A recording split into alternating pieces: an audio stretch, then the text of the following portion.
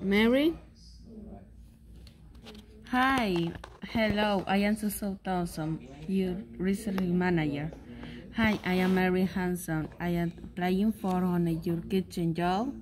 Great. Is a copy of my resume. Great. Have a seat, Mary. Thank you.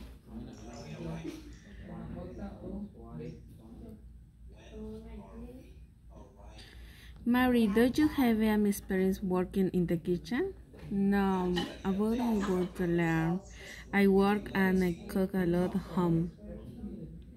Okay, well to think about yourself. Well, I I love to learn new things. I'm very organized and uh, a full direction exactly. That's why was I my last job made me a trainer. And the company actually gave me a special certificate for coming to work and time every day for a year. And I taken an English class. So improving my train skill. That's great. Why did you leave your last job I was graduate and I need to work days. I see.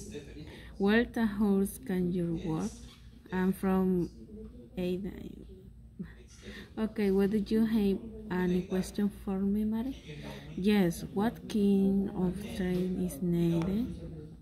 Not a lot. Most new works can learn everything the first day. Do you have any other question? No, I don't think so. But I read a lot of good things of company and would really like to work here.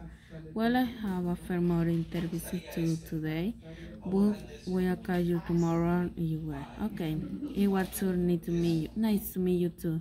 Thank you so much for the time. Yes, good luck. Thank you. No.